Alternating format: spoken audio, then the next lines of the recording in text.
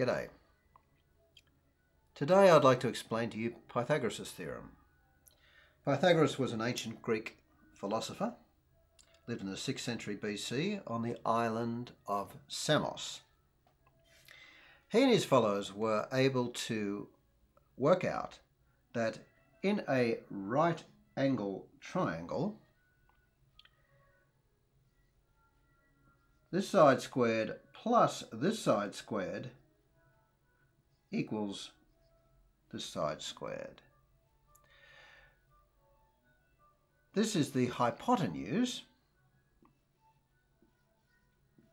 H-Y-P-O-T-E-N-U-S-E.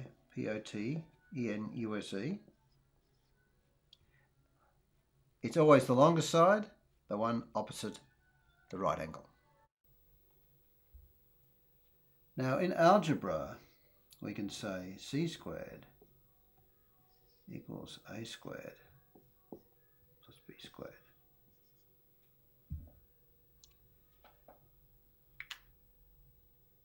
Now I have an example here on the geoboard and you'll see it's one, two, three, four high and three along the base. So that would be 3 squared plus 4 squared equals 9 plus 16 equals 25. So c squared equals 25. We, of course, the solution to that in algebra is plus or minus 5. But because it's geometry, we don't have to worry about the negative number. So C is 5. This gives us a triangle of 3, 4, 5. Now isn't that neat? All three are whole numbers in this case. And that is called a Pythagorean after the man triple.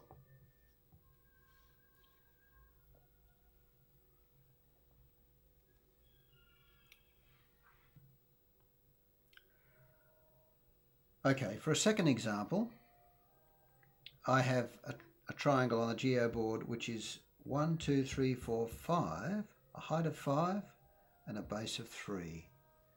So that will equal 3 squared plus 5 squared equals 9 plus 25 equals 34.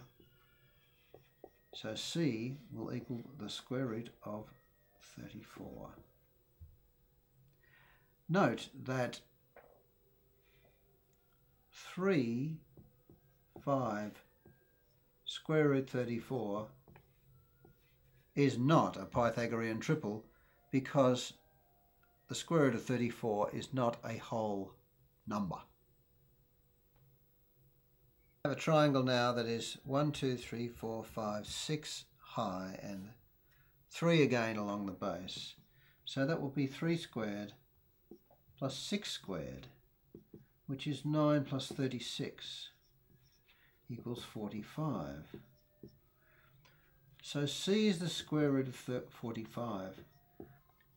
That root 45 equals root 9 by root 5.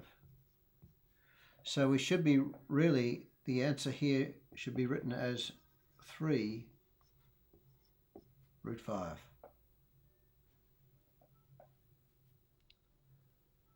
For a fourth example, I'd like to use this one. This is a height of 1 and a base of 1. It's an isosceles right triangle. So we can use our formula just the same.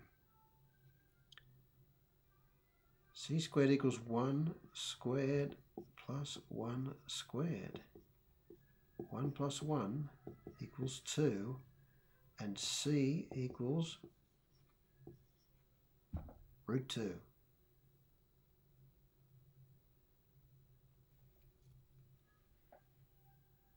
For another example, I would like to use this triangle, which is 2, a height of 2 and a base of 2. Again, it's an isosceles right triangle.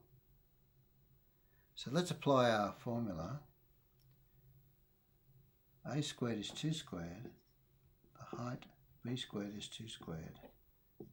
This equals 4 plus 4. This equals 8. So c is root 8. But again, your rules of indices will tell you that root 8 equals root 4 times root 2.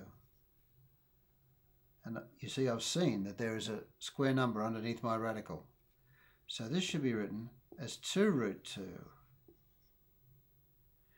Now it will be interesting for you to compare this answer, to root 2, where the side of the uh, isosceles triangle is 2, to the last answer, where the answer was just root 2 and the side was 1.